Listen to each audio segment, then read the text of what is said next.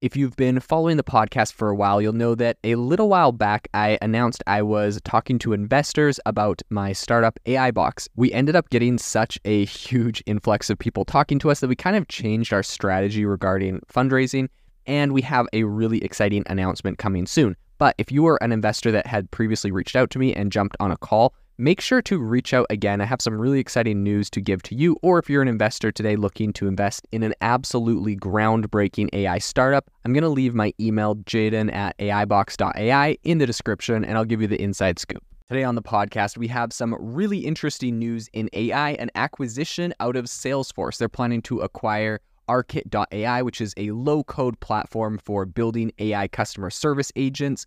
And of course, why do we need customer service agents if our software has bugs or people have bugs? And what do bugs have to do with all this? Well, let me tell you. Actually, this has nothing to do with it. I just wanted to bring this up. I live in Arizona, and in case you guys don't know, we have scorpions here. This is my least favorite bug in the world. For those that don't know, scorpions literally like they glow in the dark if you sh- if you shine a black light on them.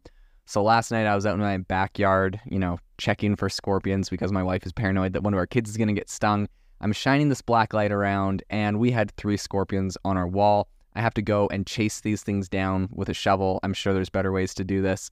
But uh yeah, anyways, terrifying prospect, so I hate bugs. And that is probably similar to Salesforce why they're buying this company because they too are looking for an AI solution to help mitigate the problems that arise from bugs. I don't know if that's related, but that's my tangent I just wanted to tell you guys about anyways. In any case, let's jump into the podcast.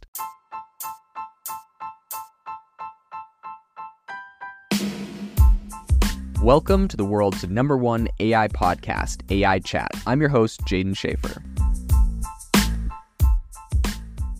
Have you ever wanted to start your own podcast? I record and publish podcasts on a platform called Spotify for Podcasters, and I absolutely love it. Essentially, you can upload from your phone or computer, and it distributes to every platform that plays podcasts. They support video podcasts, and you can make money on the platform with ads or even podcast subscriptions, something that has made my life so much easier as a podcaster. So, if you're interested, I highly recommend you give it a try. You can download the Spotify for Podcast app or go to spotify.com slash podcasters to get started on your podcast today. In what I view as a fairly significant move deepening its kind of direction into AI and customer service, Salesforce recently announced, like I mentioned, that they're going to be acquiring this AirKit.ai, which is really a, a platform specializing in enabling e-commerce businesses to create um, AI-enhanced customer service agents.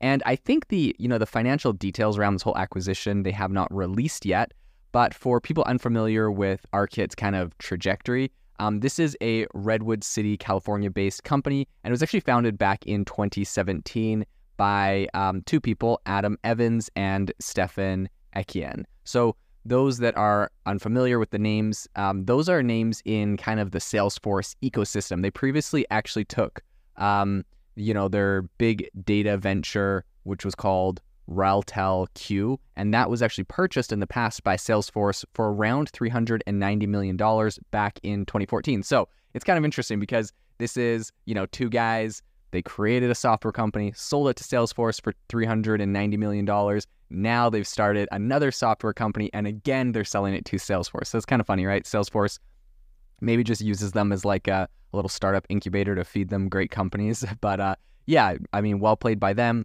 double startups, double acquisitions, both by Salesforce. So very uh, a dynamic duo for sure. In any case, originally AirKit emerged as a self-serve customer engagement solution, um, which was kind of aiming to bridge the often problematic data silos for businesses and streamlining processes like, you know, user onboarding among other things. So, fast forward to last month, and the platform underwent a significant pivot. So, rebranding as AirKit.ai, the firm unveiled its pioneering product, which is a platform powered by GPT 4. And this innovation empowers companies, including um, names like OpenTable and ShipBob, to craft highly specialized customer service chatbots. So, these bots are proficient in handling a whole bunch of tasks from you know, outdating order statuses and processing refunds to uh, providing detailed product insights. But just to go back a little bit and give you kind of the full picture on this, um, back in 2020, so uh, Air AirKit.ai actually raised $28 million from Accel, who obviously, you know, top a uh, US venture capital firm, and Salesforce Ventures. Um, and that's kind of when they they launched this thing. So, you know, Salesforce, while they're buying them today, they've actually, you know, previously were investing in a round that raised $28 million. And I think the subsequent investment rounds saw the startup receive around a total of $68 million during over the course of its six years.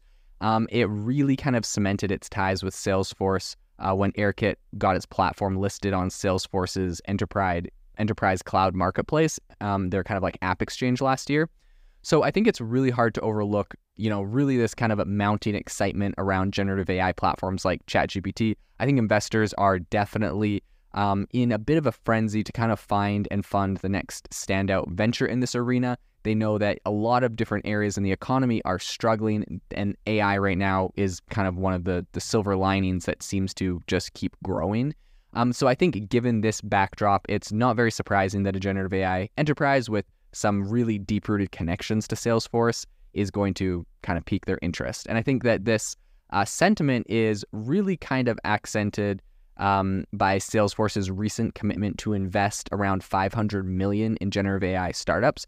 I'd be really curious, um, you know, what they ended up actually buying AirKit for. It had already received around 68 million dollars in funding. They're planning on investing 500 million. So this is, you know, obviously coming out of that. But yeah, I'd just be really curious to hear what the, the deal terms are. In any case, as really the business community is waiting uh, keenly for the deal's kind of culmination to see what's happening, um, which is anticipated by to really kind of this whole thing's supposed to close by January of 2024. Salesforce has charted out um, that they're very interested in this, and AirKit.ai is slated to kind of blend into Salesforce's established customer service platform, which is called Service Cloud.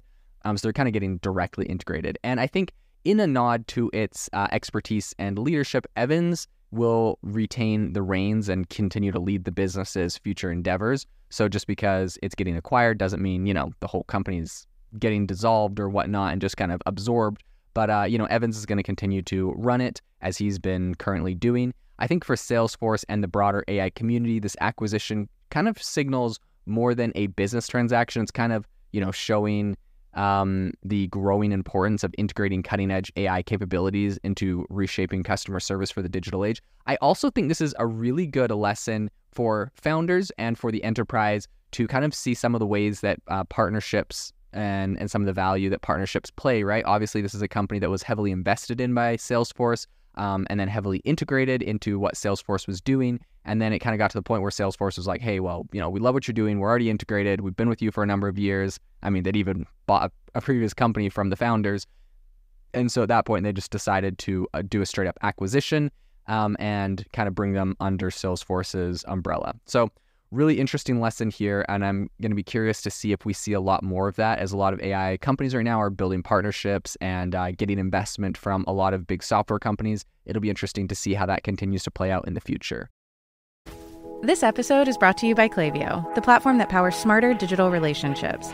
With Klaviyo, you can activate all your customer data in real time, connect seamlessly with your customers across all channels, guide your marketing strategy with AI powered insights, recommendations, and automated assistance Deliver experiences that feel individually designed at scale and grow your business faster. Power smarter digital relationships with Klaviyo. Learn more at klaviyo.com slash Spotify. That's K-L-A-V-I-Y-O dot com slash Spotify. This episode is brought to you by Shopify. That's the sound of switching your business to Shopify, the global commerce platform that supercharges your selling. Harness the best converting checkout and same intuitive features, trusted apps, and powerful analytics used by the world's leading brands. Stop leaving sales on the table. Discover why millions trust Shopify to build, grow, and run their business. Sign up today for your $1 per month trial period at shopify.com slash tech23.